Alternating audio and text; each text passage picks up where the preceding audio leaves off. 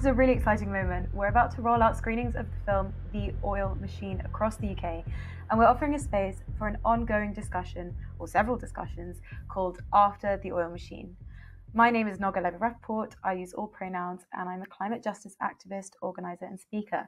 And I am the very lucky host of today's session. Uh, with me here are Emma Davie, director of the film The Oil Machine, um, and three other key participants in the film Sir David King, the former chief scientific advisor to the UK government, now running the Centre for Climate Repair and the Climate Crisis Advisory Group, Ann Pettifor, economist and author of The Case for the Green New Deal, James Marriott from Platform London, co author of Crude Britannia and conceptual contributor to The Oil Machine. And we're also joined by Rachel Caplan, outreach coordinator at Film and Campaign, She'll talk about how people can be a part of the release and how we're making it very easy to people to speak at screenings and for communities and organizations to organize their own events with the film. I'd also like to welcome everyone in the live chat. Uh, you know, you can drop us a message, you can say hello, tell us where you're based, if it's been unusually scarily warm at your place this year. And Rachel will be monitoring that chat the whole time for questions. So please, at any point, feel free to ask us anything you'd like to know and we'll pick up those questions as we go. We'll come to them at the end, whether that's about North Sea oil and gas, about a Green New Deal, about COP27, and of course, how to be a part of the film's release. If you're watching this on Facebook or Twitter and you want to ask us any questions, please come on over and join us on www.theoilmachine.org slash launch. The link is also provided in the posts you're hopefully looking at just now. And for those of you who haven't seen our trailer yet and are just seeing the title in the top corner of your screen, we will actually quickly play it now to get you into the groove of the oil machine. So I hope you enjoy that. This is made of oil. This is made of oil. This is made of oil. This is made of oil.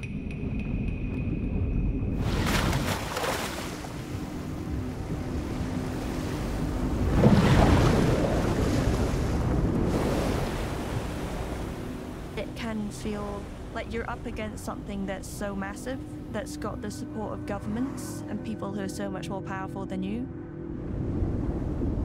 We say between 10 to 20 billion barrels of oil are still out there for us to get after. It represents a massive opportunity for us. If all of that was found and combusted, that is a huge amount of carbon dioxide, just from, remember, the North Sea, the UK's North Sea.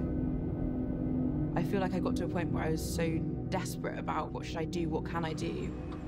I'm taking the UK government to court to pull the plug on public payments for big polluters. We have an addiction to oil and gas in our society. Effectively, we're living inside an oil machine. It became a, an engine driving forward the UK finance sector. This is made of oil. This is made of oil. Which means that people's pensions, savings, and investments in the UK are actually investors in financing a future that no one wants to see, but no one really realises. What career am I going to have based off of this, and where am I going to live? And what food am I going to be able to eat? I believe that what we do over the next five years will determine the future of humanity for the next millennium.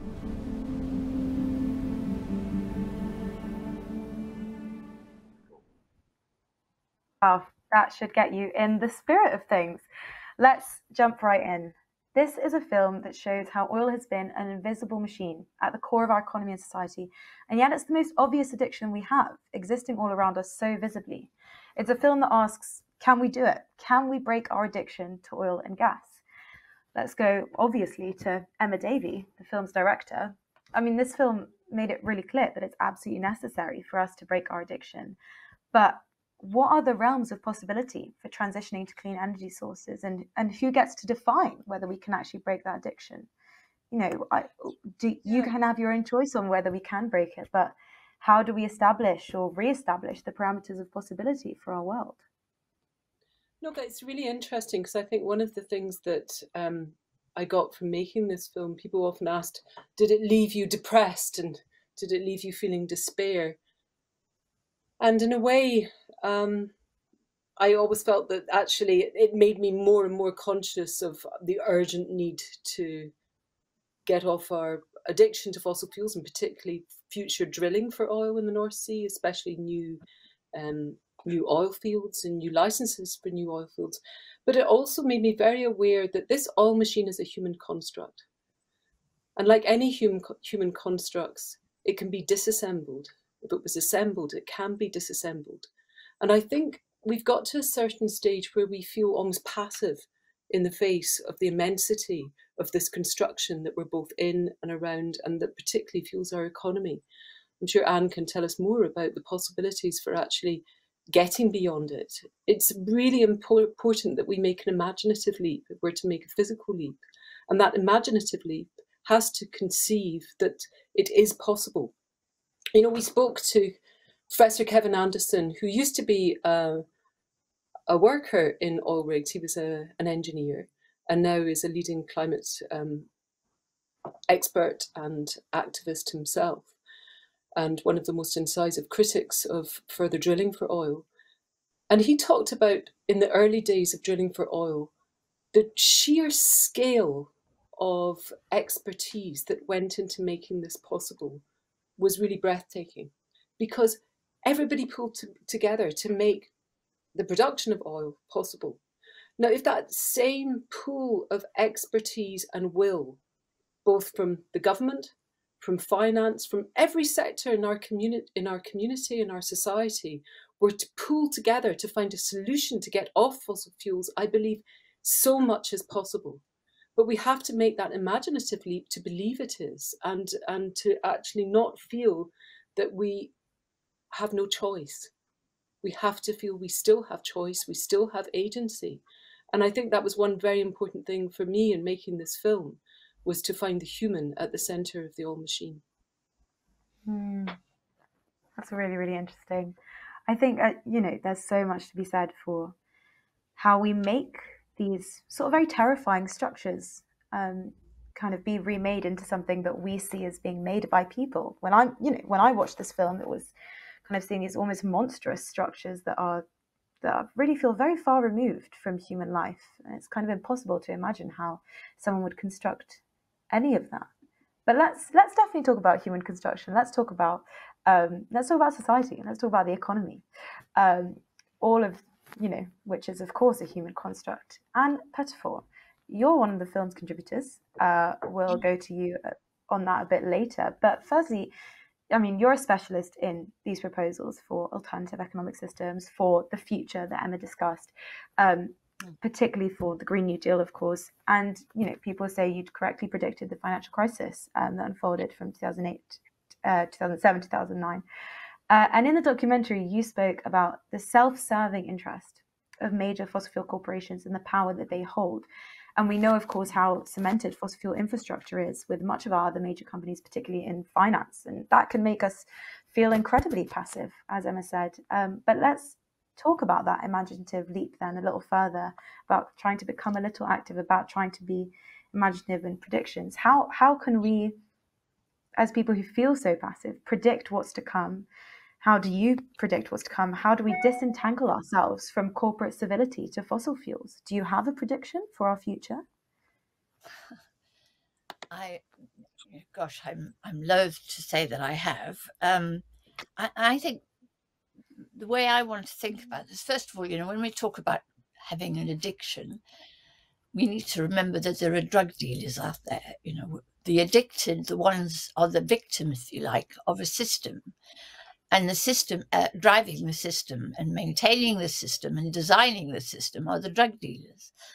Um, and in this case it's the financial system. The financial system has um, an enormous vested interest in this asset which is oil which appears at times to be finite but then at other times appears to be infinite in its supply.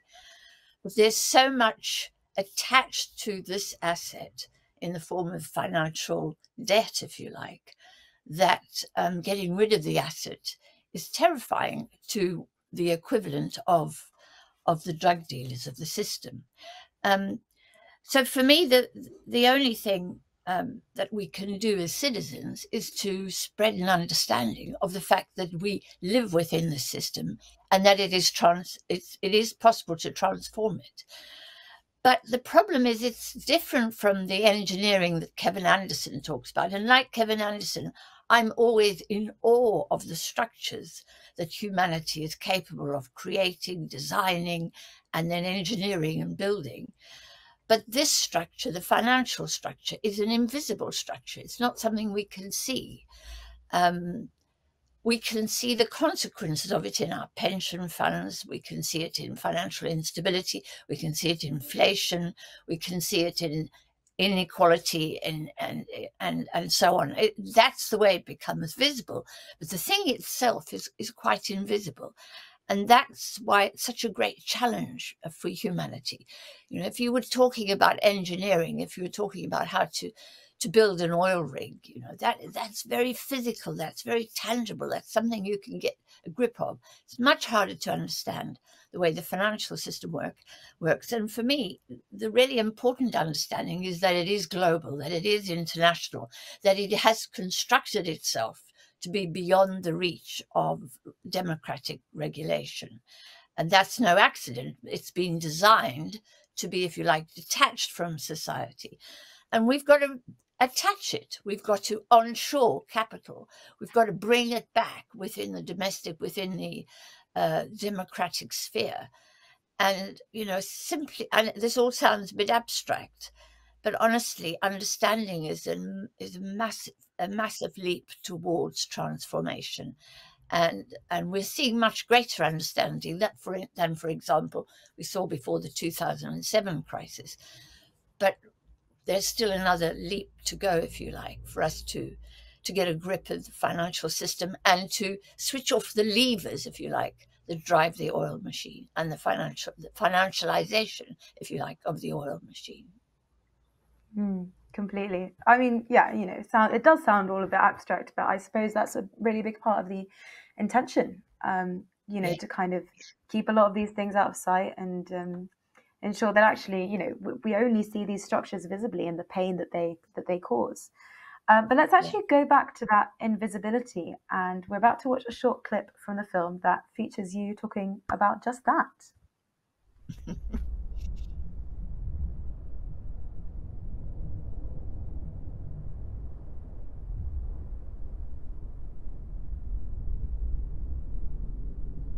so very very deliberately as part of market ideology is the idea that we can't allow democracies or governments or states to regulate or to manage uh, the production and the extraction of finite assets. This has to be left to something called the invisible hand.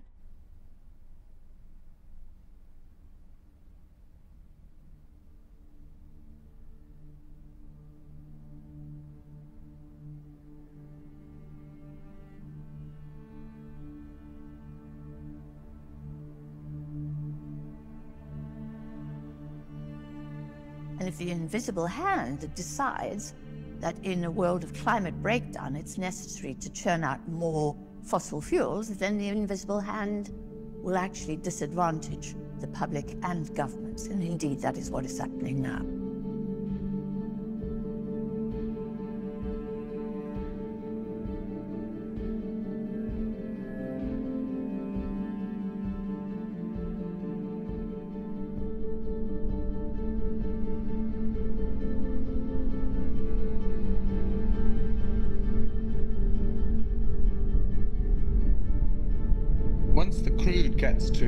Refinery like Grangemouth,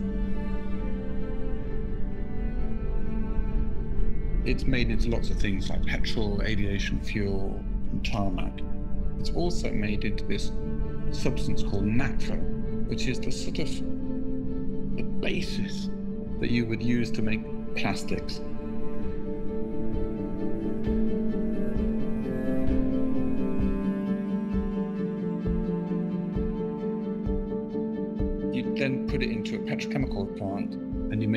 Other stuff out of it, such as ethylene. And then that ethylene is made into other stuff, such as PVC. And that is plastic as we know it.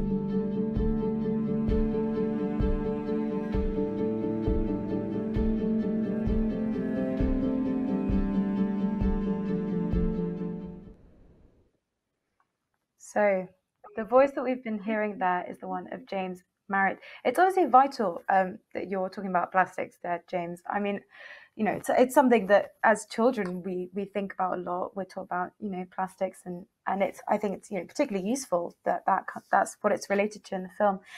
But eventually, you know, that no longer is what's talked about. Oddly, we kind of go over this big break and don't think about plastics so much anymore. When people actually consider ending oil and gas exploration, we often just think of the need to stop burning fossil fuels, but actually forget all the other major components that are made from oil in our day to day life. And this really huge part of the film comes in right at the end where it's discussed that we often think we might be more deprived sort of emotionally and physically if we move away from oil and gas whilst we know of course that there are exciting and favorable alternatives to oil and gas when it comes to transport electricity and heating but you know is it even thinkable to then break our addiction with other daily use products and how do you envision that sustainable future um, thank you very much, Noga. This is very interesting, I, I, and I'd like to answer that uh, also by picking up on something which Ann was talking about. Um, I just to pick up on what Ann, Ann you said about the, the invisibility of capital, the invisibility of the capital systems, um, and the need to kind of bring that back into culture. To need to, you said the word onshore it, and you need to. I, I think that we need to bring it into being represented in culture it's extremely as you say, capitalism is extreme. Capital is extremely inv- invisible, and that the problem is is that our uh, one of the problems of that is that it's not represented in culture. We can watch many many um, uh, drama docs about uh, or drama dramas about nursing or cops or um, rows of things, different things, but nothing will tell you about how a futures trader works or even represents a futures trader really um, who are some of the most important and powerful figures in, in our culture. And so it seems to me it's really important to represent those things. What I think is very good about the film, beautiful about the film, is it tries to give real, tangible representation to large chunks of the oil machine, which are never really represented. If there's ever a representation of the oil industry, it tends to be the offshore drilling rigs. And what I think is great about the film is A, it tries to represent uh, the financial side aspect of the machine, but also the other aspects of it, which are, as we say, the plastics and things, which tend to get just talked about at the the, the user end, i.e., don't use any more plastic bags. And there's no real way. There's rarely in our culture is it is the use of plastic bags connected up to an oil well, or even connected up to the even less so connected up to the trading in in oil, for example and it's representing those those connections, which I think is vital, and I think the film has a damn good crack at. Um, but it's we need to do it more and more and more. And one of the other aspects which I think are interesting about this, which is, and you touched on it in your question, Noga, and it was also in, in one of the uh, clips that we had, is this question of addiction. And there's one of the downsides of addiction, I think, as a metaphor, is that it places the problem on the individual. And also, we all have addictions, and of course, we want to give them up. We also don't really want to give them up. You know, I mean, I confess, I smoked a lot when I was younger, and I still like the occasionally like the idea of having a cigarette. And and the problem about addiction is it's placed within ourselves. I wonder what happens if we actually think about the machine as being outside ourselves um, and a, a, machine of the machine of oil as being outside ourselves, and the task being something we have to do in order to take the pieces, and not just the physical part, but also the financial part. There's a, a line which I've often had rattling around my head from a, a writer, Hans Magnus Enzensberger, who said it takes it, it's easy. It, any idiot can throw a bomb. It takes a person of genius and courage to, to defuse one. And it seems to me that to diffuse the oil machine, to diffuse the financial system, is an extremely difficult and but interesting challenge because in the process of diffusing a bomb, not that I've ever been near that process, but I would imagine you have to really understand it extremely because if you don't understand it, then you're just going to blow yourself sky high. And secondly, it's very hidden. It's pretty obvious that a bomb is a very hidden thing. So that relates to the question of how to diffuse the oil machine and particularly the financial aspects of the oil machine. We have to see it and figure out how dangerous it is and learn how to take it to pieces.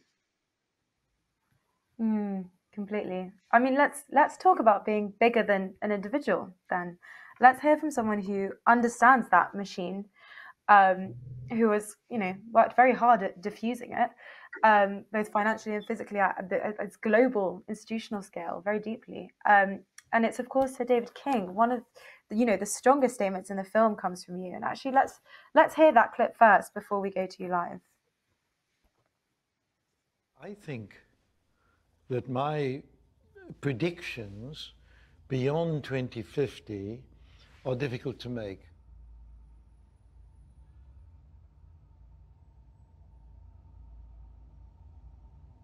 And the reason I say this is because I don't believe the global economy will be functioning the way it is today unless we, we make big, big changes over the next five to 10 years, right, to manage the disaster that's just around the corner.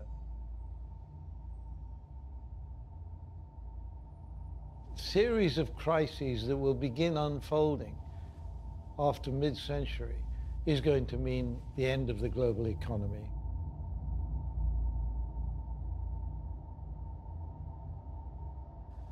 I believe that what we do over the next five years, and the we in that sentence refers to humanity, will determine the future of humanity for the next millennium.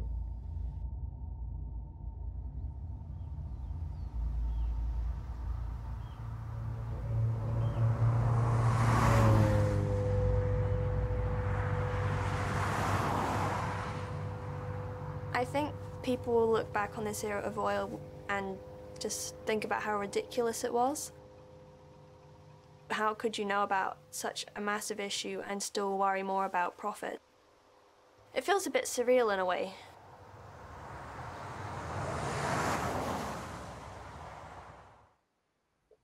Hmm. It does. It does feel surreal. I mean, I, so Dave, could you talk us through how you got to that time frame, those next five years, in order to kind of manage this disaster? We, you know, we often hear a lot of these. Oh, we must be carbon zero by 2025, 2030, 2050. But could you could you explain that reasoning, those crises that you're expecting a little bit more to us? I think that's you know that's why these things tend to feel a little bit surreal because there's a lack of, like Ann mentioned, sometimes there's a, a, a missing gap in in our understanding, um, and it makes it all feel a little bit removed from where we are. And you know, I guess you could also tell us sort of how we're doing now in that year on from COP26 here in the UK, um, and looking on now to the eve of COP27 in Egypt. Let me try and deal with your question as uh, quickly as I can, but it, do, it does require a bit of a long answer. Uh, so, first of all, uh, what we have experienced in the last three years, in particular the last three years, is a series of extreme weather events around the whole world, in particular the Northern Hemisphere, but it's happening in the Southern Hemisphere as well. Now, what this can be related to, and the Climate Crisis Advisory Group has published a paper showing this, is what's happened in the Arctic Circle region. And this has happened relatively quickly. It's over the last 15 years that the Arctic Circle has suddenly been heating up at a rate of about four times the rate of the average for the rest of the planet. And what this means is that the Greenland, during the polar summer months, is sitting in a blue sea. 50% of the ocean is now exposed to sunlight during those three months. And so this area of the world is now very warm during those summer months. It's one of the warmer regions of the Northern Hemisphere. And that switch around from the North Pole always being covered by ice and therefore being cold to the North Pole losing its ice very quickly as the polar sun comes back in the polar summer. And that period of heating is extraordinary in its impact. Hot air over the North Pole driving the cold air that it would normally have around it further south. And as you drive cold air further south, you've got to balance that so warm air comes up from the, the tropics. And so what, what we saw, for example, in North America was a temperature of minus 16 degrees centigrade in Texas, in Dallas. And at the same time, right across on the west coast, temperatures went up to 50 degrees centigrade. So you've got this very hot air coming up to replace the cold air coming down, pushed down by this warm air over the North Pole. In other words, the, the weather systems of the world are already in transition as a result of the melting of polar ice. Now, the melting has been taking place over a, a fairly long period of time, but the sudden exposure of blue sea means that the heating of uh, the polar region has gone up very much more quickly. That means the ice has been lost very much more quickly. A very positive feedback. And so I would say none of the climate scientists predicted the rate of loss of the ice in that region. Now, Greenland, sitting in that blue sea, is now losing its ice irreversibly. And ice on land, when it gets lost, goes into the ocean, and that will raise sea levels globally eventually by seven meters, 25 feet. Right, so what we're doing is changing the map of the world and losing cities sitting on coastlines around the world. But also sitting up there around the North Pole, which is the Arctic Sea, is land, and the land has permafrost on it. And the permafrost contains a vast amount of methane. The amount isn't really known, there are many estimates being made, but it's quite clear that we're now losing methane explosively, unexpected, explosive release, leaving big canyons in the permafrost. Uh, and the explosive release means that methane is escaping into the atmosphere together with water vapor and carbon dioxide. Methane is about 100 times more effective as a climate change uh, changer. And so this means potentially if it all happened over, let's say, 20 years, a 5 to 8 degrees centigrade average temperature rise. So when I say five years, um, I'm probably exaggerating the time scale we have to manage this problem. Uh, time is passing by very, very quickly. So we, we need, yes, deep and rapid emissions reduction. And the fossil fuel lobby has been extremely successful in preventing that from happening, as we've just been discussing. But we also need to remove excess greenhouse gases that we've already put up there to create a manageable future for humanity.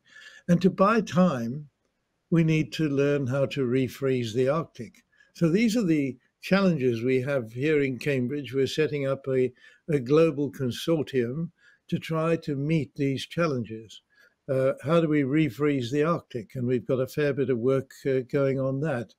How, how do we remove greenhouse gases at scale? We need to remove tens of billions of tons of greenhouse gases every year to get ourselves back into a stable state. So we're in an unstable state. The global weather system has changed more quickly than we expected.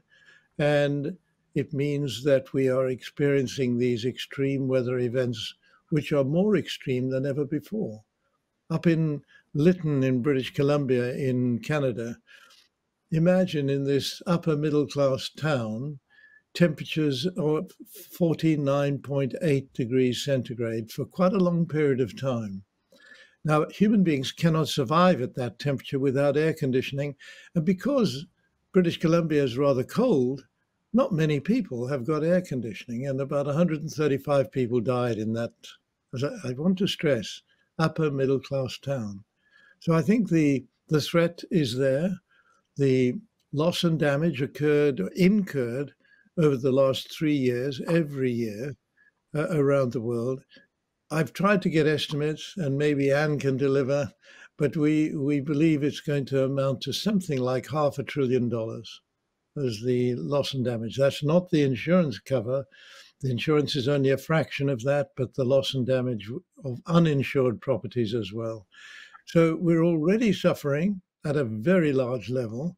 And that sort of number towards a trillion dollars is the number we need to bear in mind when we look at the options for switching out of fossil fuels and for doing the other exercises I've indicated need to be done. Well, that's um, that's really depressing. Um, but thank you, thank you. Um, I mean, what what do you all think in this sort of rapidly evolving situation like right now, with these extreme weather events that Sir David's discussed, with kind of viciously manufactured skyrocketing prices of energy bills that we know are placing millions of people in incredibly distressing and dangerous financial positions, with hundreds of new licenses being offered for North Sea oil and gas exploration that, you know, this documentary shows us we very clearly cannot afford to move forward with. Um, and with the continued pressure then to move forward with fields like the Rosebank field, with COP27 about to start, I mean, it's a, it's a very long list, and that's kind of just off the top of my head. So, in the in light of all that, in the context of all that, what role can this film play? Maybe let's go to Emma first. Um, it is, after all, your film. Well, I feel that all of our films, all of our filming all the contributors and the team behind it, and um, you know that's really what, what, what what's what's making it and what's what's pushing it. Ann Pettifor says this thing in the film that if um, a meteor was about to land on the Earth, we would do everything that we could to um, protect ourselves from it. The film wanted, I guess, in the film we wanted to raise the alarm, uh, just as Sir Dave has so eloquently told us, things are even worse now than they were when we made the film. Um, we've had a, a COP last year that was very ineffective in terms of really um, creating changes that are needed. And I think as a civil society, we have to demand change. In, in I think what both Ann and Dave have talked about when I interviewed them was the need for legislation. And I'd be interested in hearing their thoughts about what kind of legislation needs to be put in place. But I think the word legislation is one that our society can be a bit allergic to, but which we really need to begin to see is the only way forward for, for where we're at. Ann, let's go to you for that one It's a very kind nomination.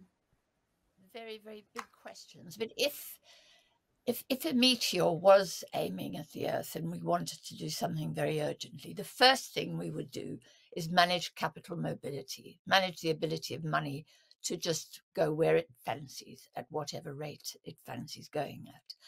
And for me, that's the really most important piece of legislation that countries can adopt.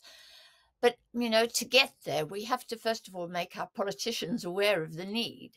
And I'm very struck that this last um, summer, uh, Joe Biden tried to introduce some legislation which would have invested an awful lot more in climate change and in the infrastructure needed to tackle climate change. And he was blocked in that by Senator Joe Manchin in the in the Senate, who was a who was a Democrat, supposedly on the same size, and he argued that um, that actually uh, managing uh, uh, bringing down the price of gas, and, and, and that was the aim. And as indeed, you know, we've we've watched as commodity speculative commodity markets have forced up the price of oil, um, and and that has had a massive uh, domino effect, if you like, on the whole of the global economy. It's causing central banks to raise interest rates. It's causing the cost of living crisis. It's causing a consumption of gas crisis. Um, all kinds of and, and it's it's fueling war. Um, what was very clear is that the commodity markets, and, and I wanted to make this very clear. This is this is a, a very sort of um, intangible and invisible part of the global economy are those speculators that include our own pension funds, asset management funds, hedge funds, and so on, who invest in the Chicago commodity markets where they buy and sell oil. But this is not what is known as wet oil. They don't buy and sell barrels of oil. They buy and sell paper oil, which is a bet on whether or not the wet oil will rise in price or fall in price, or and so on. So the, these betting, these little slips of paper that are just gambling tickets, if you like, uh, determine effectively. There's far more of activity goes on in that paper market than that goes on in the wet market. And uh, as a result, the price went through the roof, empowered President Putin in a way that his predecessors were not empowered. You know, President Gorbachev didn't have a high oil price, didn't benefit from, nor did Yeltsin benefit from a high oil price. Putin is benefiting enormously from a high oil price. It is fueling a war, a, a war in Europe, right? So Biden was trying to bring this down, this price. And of course, he doesn't tackle the Chicago commodity markets, the speculators and so on, but he does try and introduce legislation.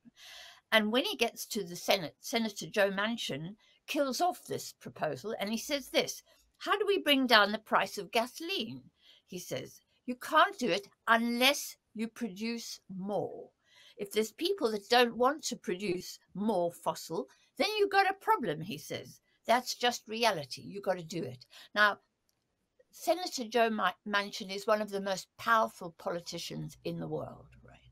He argues that to bring down the price of oil, you, you don't need to tackle the invisible markets uh, gambling around uh, Chicago, the Chicago um, Mercantile Exchange. No, you've got to produce more oil. Now, this kind of crazy logic is what has um, captured our most influential and powerful um, politicians. I mean, there's no doubt that Senator Manchin is someone who is being paid, if you like, by the the dealers uh, to fuel this crisis. But um, why is he there, and why does he have that power, and why have we, why have American voters allowed that to happen? So, you know, I, I'm not I haven't got an answer here, and I'm not being optimistic, but I, I do want us to understand the forces driving this. Because, you know, if we want legislation, the number one legislation would be to regulate the Chicago commodity uh, markets, the mercantile exchange, to say, you know, you're not allowed pension funds, asset management funds, hedge funds. You're barred from using people's savings to speculate on whether or not the price of oil will rise or fall. And there was a moment, for example, when President Putin shut down Nord Stream 1. He actually switched off the pipe that uh, transmitted gas to Germany. And in that week, what happened? One would think that with the the opposite of what Senator Manchin was arguing, that with the construct, con, contraction of gas supply to Germany, you would get a rise in price. No, the price fell by half. Why? Because the speculators were beginning to twig that actually the high prices were going to also precipitate a, a, recession further down the line. So they were already beginning to flog off their investments in gas. So, I mean, but this process is invisible to us. We are, uh, there's a group of us trying to do research on exactly how many. Uh, in, uh, how many institutions are involved in those markets? How many uh, times have they gambled on this market? How much money has gone into it? None of that is uh, available easily uh, to civil society, if you like, and to academics. It's it's and very few academics work in this field. Um, you know, they all say, "Oh, we, we know the commodity market, we know speculative markets exist," but really, we, you know, eh, they're not big. It's not a big deal. What matters is the supply and demand, and supply and demand is actually today a very minor part of the price fixing arrangement around oil. So here we are trying to manage this this ghastly fuel which is burning up the planet, and out there in the stratosphere, the financial stratosphere people are fueling the price upwards, and nobody, no government has uh, has a, a, a regulation over it. Now, I need to say this: that actually it was the Clinton administration earlier this century that liber- liberated those markets and did that on the grounds that it would be good for I don't know, it would free up the price mechanism would mean we'd get the best price and so on. So there's been a process quite recently of actually introducing deregulation, which enabled that speculative market to operate. Until we regulate it again and we legislate on that question, then, you know, these guys are going to be able to fuel wars and poverty and inequality and cost of living crises and higher interest rates and deeper recessions until the whole thing blows up. Oh dear, that's not a very cheerful way to end this, but No. Um, well, I mean, it, it's tough to think about what is a cheerful conversation. Sorry, um, there's Yeah. been a small technical issue on mine, which is why the screen has changed, but hopefully um, I can be heard. Um, but we're actually going to go over to something a little bit maybe more positive. I'm hoping it will be a bit more positive. Um, we're going to jump over to Rachel to talk a little bit more about the film. You're obviously the outreach coordinator for this film. And I mean, Ann's just talked about the very difficult position that we're in in terms of again diffusing this this bomb, which is kind of very different metaphor from what we started off with um, with our addiction. What can the audience of this film do? What message do you want this film to have? What message do you want to take away from this campaign? I mean, what's this discussion all for? Thanks, Noga. So this is not just a film, it's a campaign called After the Oil Machine. There's three aspects to this. First of all, After the Machine is about sparking discussions after having seen the film. And our goal is to facilitate as many discussions after the film screenings as we can. And we're here to help you do that. These issues are complex and we all need to be talking about them. And we want to enable every group, community, organization, university, business that feels this could be a good basis for discussion to organize their own event. So please contact us directly. I'll put my email in the chat to find out more about setting up your own screening and we'll get you everything you need to bring the oil machine to your community. Secondly, we're very aware that many things have happened since the film was produced. Um, as has been mentioned, the war in Ukraine, the cost of living crisis, a record hot and dry summer here in the UK, and the turmoil of our recent politics in the past few months. So we believe um, the film is a great way of understanding that system of the oil machine that underpins vast parts of our economy and our society. But we also saw the need to go back to the key contributors to the film about everything that's happened since. So we've just done update interviews with participants like Ann Pettifor, James Marriott. We're going to speak with Emma Davie and Sir David King next. And we're sharing all these on our website and our social media. Again, I'll put the link in the chat. Uh, the third aspect after the oil machine is that we all need to work towards our life after the oil machine with the changes we need to make ourselves uh, and with demands to people in power for more systemic change. So we're asking audiences to tell us what they want to happen after the oil machine. This can be done on the spot as part of a discussion after the film in your community. So some people might say, after the oil machine, I want to get that bicycle or I want to get that air source heat pump or some other change in their life. But others may say, after the oil machine, I want my MP to not just talk about a just transition, but to tackle some of the obstacles that oil workers face. So we want to take all of your pledges for what comes after the oil machine, and then we'll do our best to relay those messages to people in power. So many ways to get evol- involved. As I said, I'll post some links. Uh, thanks, Noga. Back back to you. No worries at all. I mean, one of the the well, one some some many things that some of you have already put forward in the live chat has been about what can you do, what can we each do. Um, some of that is, you know, about holding people in power to account. Who are those people in power? There are lots of different powers that we've talked about, from kind of financialization to the actual fossil fuel companies themselves, and there are many different links, and many different institutions involved. Um, but let's kind of throw that out a bit to the panel. What can we do?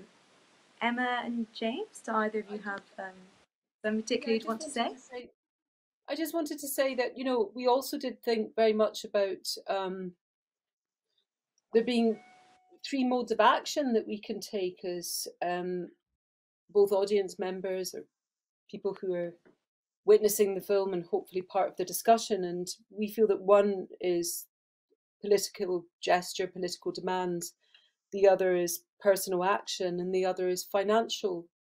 Ann has been really clear about the importance of um, the markets in determining the, the state that we're in. And um, as part of the film, we have Steve Waygood speaking very, um, very coherently about the fact that the London Stock Exchange contains 3.6 degrees of warming within the assets that are there. So, um, as his in his role as a finance advisor for um, Aviva, you know, he, he, he really encourages those of us that um, are lucky enough to have any pension at all to do something in terms of demanding what kind of action our pension providers are actually taking to address the the overheating of the market and its links with oil and gas. So I think I think these questions are, are really important in terms of really encouraging people to think about these three actions: politics, the the political demand, the the financial um, leverage that we might be able to take as consumers of any financial product. I mean, that includes insurance, actually, not just pensions, and also the personal um, change that we feel we can enact.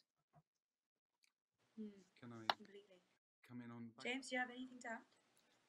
Yes, I, I, I wanted to say or respond in a way which um, builds on the back of uh, what Ann was saying, and, maybe sounding uh, uh, terrifyingly optimistic, but um, I completely concur with what of Ann's description of the the commodity markets, and it's something I'm personally absolutely fascinated by and, and working on quite a lot myself at the moment, uh, together with colleagues.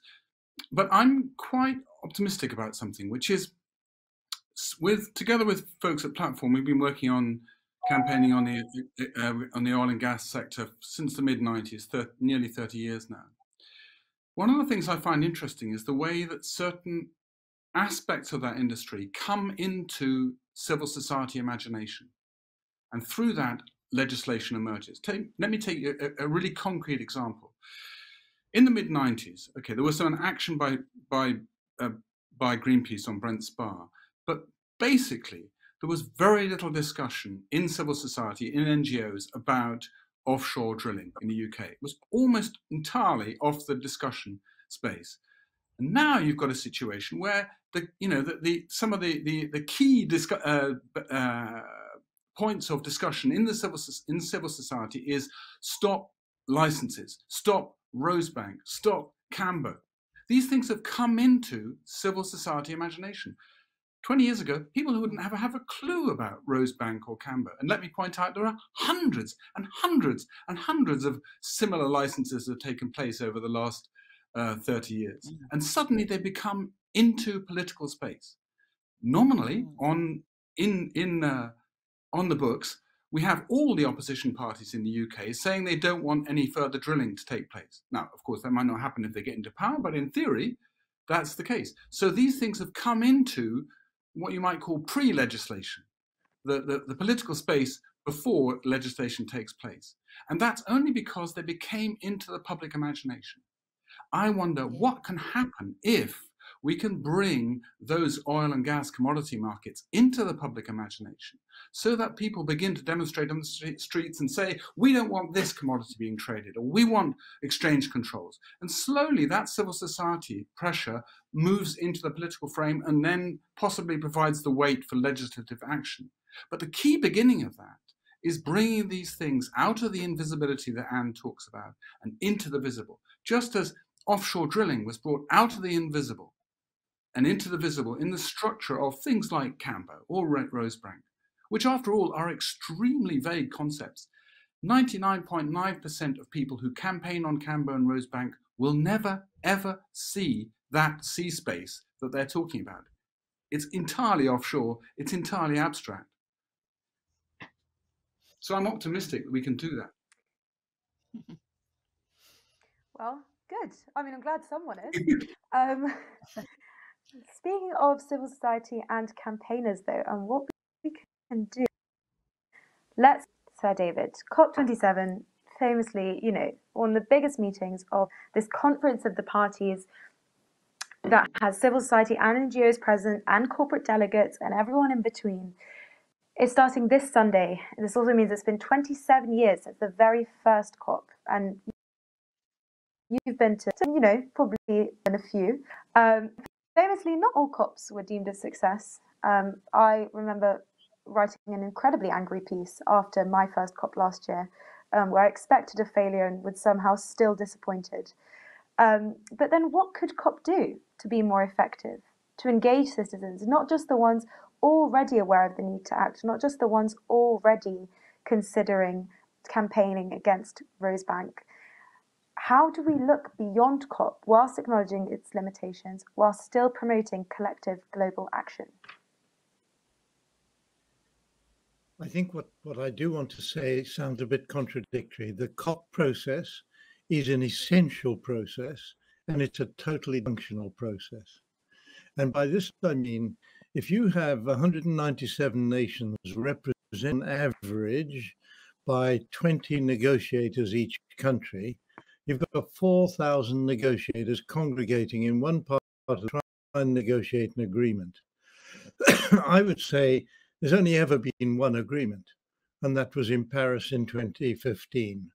Uh, the the uh, rest of the COP meetings have been repeat speeches, one after the other, of the of the delegates from each country. Now, of course, I'm talking about the official part of the negotiations, and I was a part of that official part, and I felt as if the 4,000 people in it was a circus enough, but then there were another 30,000 people in the periphery.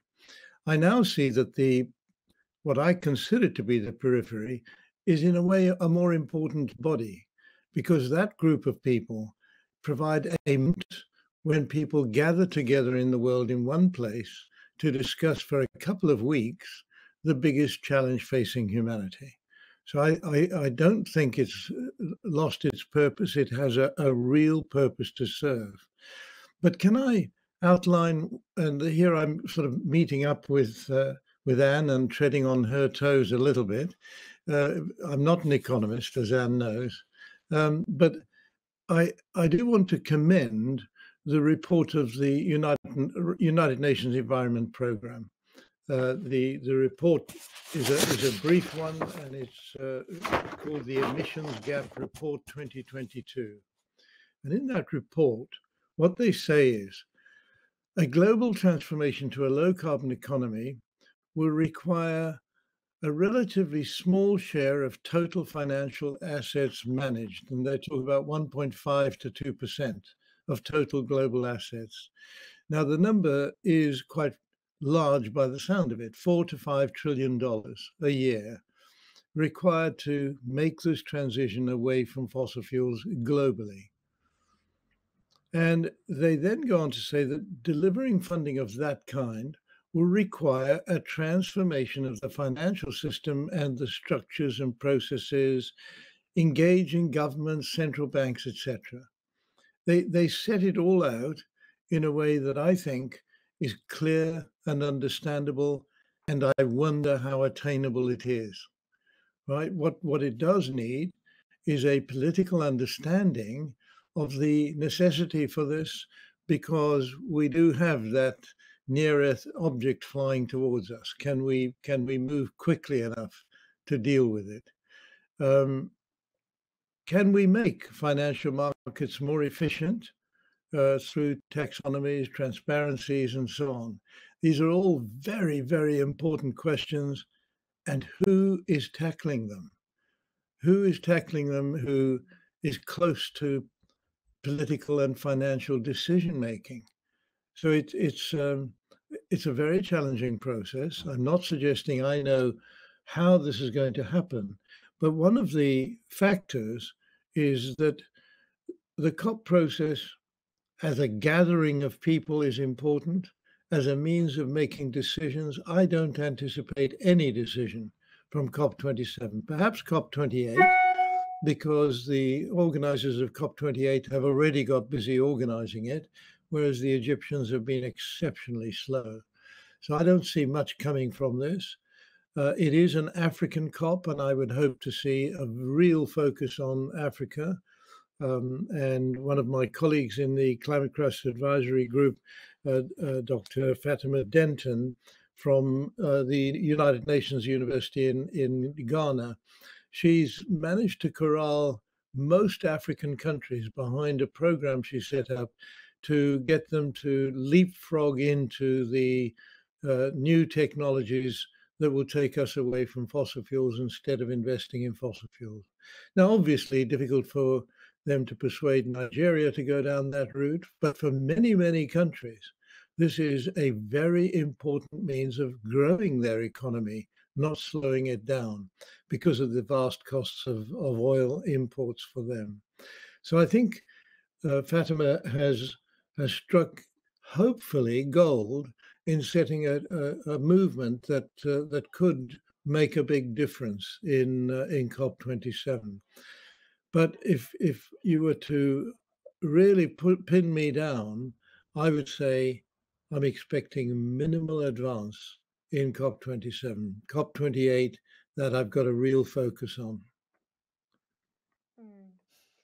Well, let's perhaps shift away from uh, questions of panelists and more towards the questions that the audience have put forward to us. Um, and our first is back to you, Sir Dave. Um, it's much more scientific, perhaps, than your analysis of COP. Um, it's is the five to eight degree increase in warming a baked in rise based on methane release alone? And is that amount of methane release the most likely course of events barring emissions extractions? It's certainly not just due to methane, but for, unfortunately, methane has not received the attention it deserves. As I said, methane is about 100 times more effective per molecule than carbon dioxide as a greenhouse gas. And we are now seeing methane levels rising faster than carbon dioxide levels. So we, we do need to factor this in. Let me give you some numbers. Uh, the number you will see that the IPCC, I'm afraid, continually quotes is that we're at 420 parts per million. The pre industrial level was about 370 parts per million. 420 parts per million is the amount of carbon dioxide in the atmosphere. If you count in methane and count it as 100 times more effective, then we're well over 500 parts per million. And I don't think there's a climate scientist who would say over 500 parts per million is a safe place to be. So we, we've already passed that safe. There is no carbon budget left that we can spend and stay in a safe world. Every ton of carbon dioxide and methane we put into the atmosphere will have to be removed to create a safe future. Well, that's terrifying, as everything has been um, in this discussion. But, but we are almost terrifying. out of time. Yes. Right. But, uh, but we can do it. I, I am never putting oh, things completely. forward. I don't believe we can do. We can do it. Yes, we have to, right? We yes. have to. Okay, we don't have a lot of time, so I'm going to, I think, pick one final question. Um, and it was a question that came up quite a while earlier on about whether companies will actually stop drilling in the North Sea. I'd kind of like to bring it back home to the oil to the oil and gas fields here in the North Sea. Um, will there ever be enough pressure? Is there enough pressure now? Is it actually worth it for these companies to keep drilling? I guess perhaps, you know, do we have this final note of hope to land on? Any of our panelists, you're you're free to answer. I'm happy to have a go. So, um, and the answer is yes, they will stop drilling. There's no, I have no doubt about it. They will stop drilling, and the question is, how, how soon will that happen? Um, and we can make it happen sooner than the, uh, the than many of the oil, oil companies might want to do, through the power of the state, through the power of the British legislature to say no more drilling. If, for example, if, if for example, we, we elected in a new government that was really committed to not doing that, and there was enough civil society pressure on them to, for them to make realize that it was worth their interests in terms of the electorate, then it could stop pretty damn quickly. Now, we might have to pay a lot of compensation out to stop, uh, to, to, to pay out compensation for the companies to stop, but that's a relatively small amount of money in the wider scheme of things we've been talking about before. But yes, it could stop pretty quickly. The key question is what's the impact on communities and oil workers to make that a just transition? But can we stop drilling? Yes. Can we make it be a way? Can we move workers and communities that depended upon it to, uh, to a better place where they're not employed in the oil industry? Yes. We just have to have the political will, and that requires the civil society will, and we can put that pressure on. It's much bigger than it was five years ago, and we need it bigger mm. still. completely. Can can I just say this that you know I think given the urgency um, of what Sir David has outlined, that actually we you know and and as James has said, we need civil society action. And all of the transformations we've achieved in society, when you think about it, I'm a South African. The anti apartheid movement won partly through po- protest, through boycott, but also through direct action and even sabotage, right? So I think this this is so urgent that we have to act. And therefore, commend the work mm-hmm. Of the Just Stop Oil uh, young people putting themselves in the firing line to actually in, insist on this. We need that kind of urgent action. But I'd also like to argue that we have to become more political. And when I say political, I mean we have to understand political power and be willing to engage with and adopt political power. I think so many of us would rather be in NGOs out of the political scene because politics is a tough and dirty business. But I really urge everyone to join um, political uh, parties, whichever one you choose. Nevertheless, get in there and make this argument within political parties. Don't leave them uh, just to respond to pressure from outside. Get inside, because being political is, is about getting power and getting power for the right reasons. And the last thing I'd like to say, if I could just plug my own um, Substack system change. I've written quite a lot there about the way in which oil prices are fixed um, or not fixed. Um, so you know, more reading, more understanding is is a spur to action, in my view. Mm. I mean, sort of brilliantly. I was worried about not having a lot of time for audience questions, but um, you've kind of both answered quite a lot of the questions about power and accountability, which is really wonderful. Um, mm. Well, we'll go to to another question then. Um, and I think maybe Emma, you'd be best placed to um, answer this, which is kind of you know I mentioned hope, and um, Ann and James have talked about the power of direct action and what we can do, but in the film, what are the messages of hope? And I think that's quite hard, you know, in the sense that you're doing this very serious creative medium. You're trying to balance the line between very difficult information and dangerous information to process, and you know, you also want to call people to action, surely. Um, so, what are those messages of hope?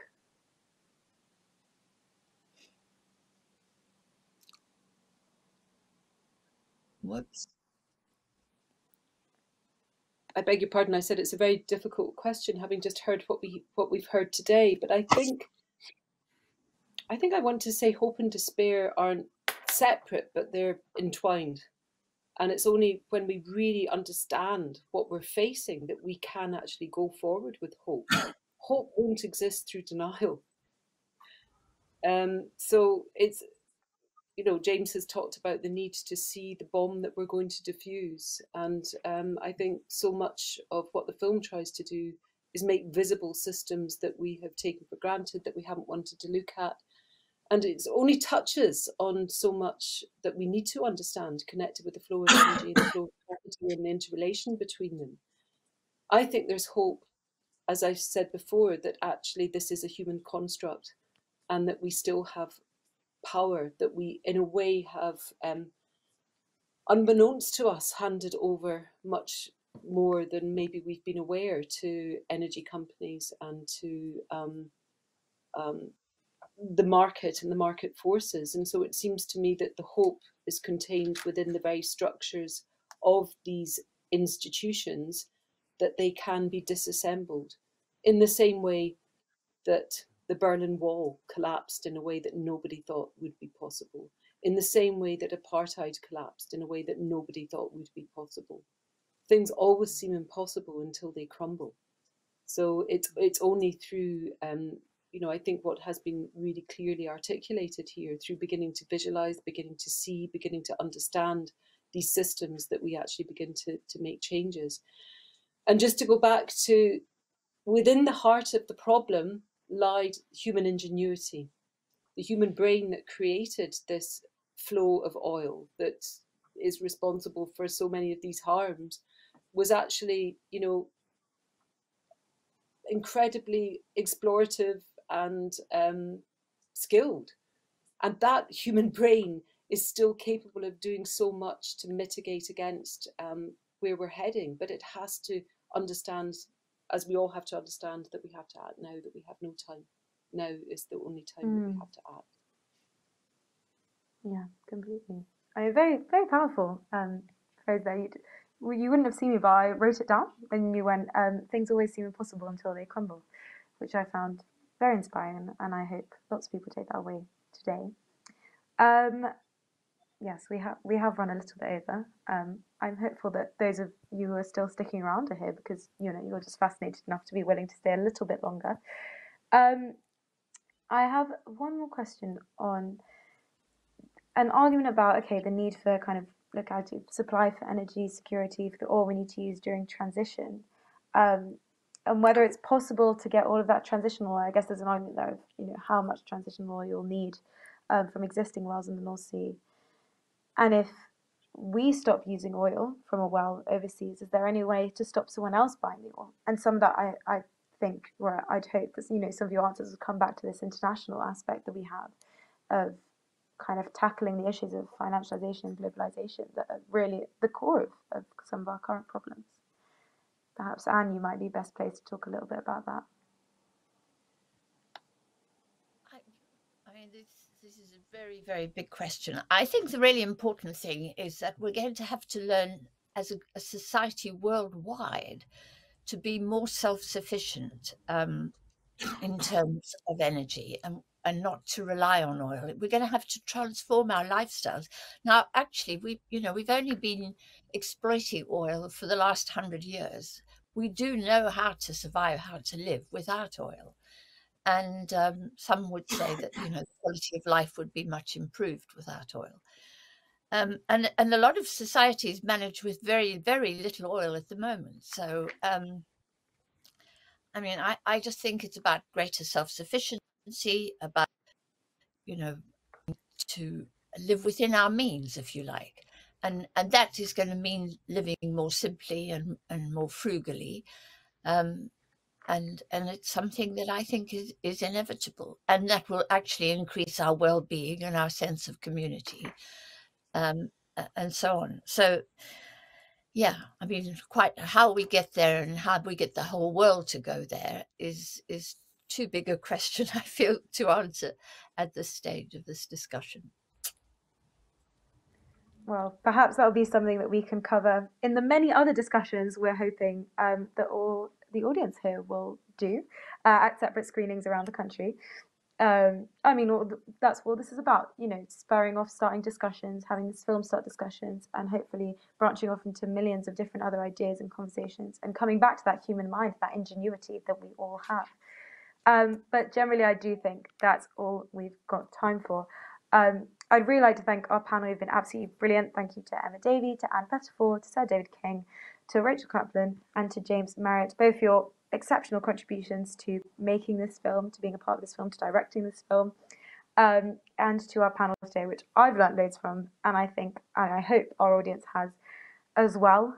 Of course, please, please, please do go to www.theoilmachine.org um, for some more launch information and how you can get involved with the campaigns and screenings across the country, as Rachel talked about earlier. I think, you know, if there's one thing that's clearest, it's that we all can contribute and we all have something to contribute to as part of a broad global movement for justice. Um, so please do get involved over there. And thank you so much from me for all being a part of this. Um, have a wonderful day. And thank you once again to the Oil Machine for being here.